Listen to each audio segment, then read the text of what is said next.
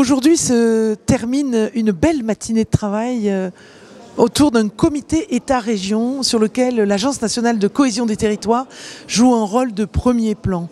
Bien sûr, euh, l'ANCT est une autorité qui coordonne ces fonds de la politique de cohésion et bien évidemment, les régions que nous avons réunies aujourd'hui sont autorités de gestion de ces fonds. Ça sera 18 milliards sur 2021-2027 euh, et puis on travaille d'ores et déjà sur la période post-2027. L'idée, c'est véritablement ensemble, État et région, de se coordonner sous l'égide de l'ANCT pour euh, ne faire qu'un et pour être le plus pertinent possible, le plus efficace possible vis-à-vis -vis de la Commission et vis à -vis de ces fonds européens.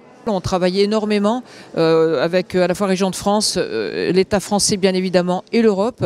et pour nous, c'était un honneur de pouvoir aujourd'hui organiser cette rencontre qui a pour but un échange à la fois avec l'État mais également les régions sur la coopération territoriale, la place de la coopération et l'importance de la place des régions dans la concertation sur les différents projets, sujets et mobilisations financières de l'Europe via l'État français.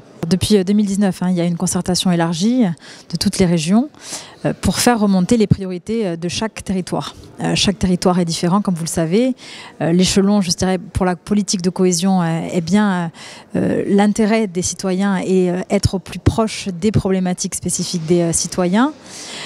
Il a fallu donc faire remonter et faire émerger des priorités avec des orientations stratégiques dans ce cadre rigide, faire rentrer toutes les spécificités, l'identité des territoires, des régions pour ben justement un aménagement en cohérence avec les politiques publiques que les régions veulent mettre en place.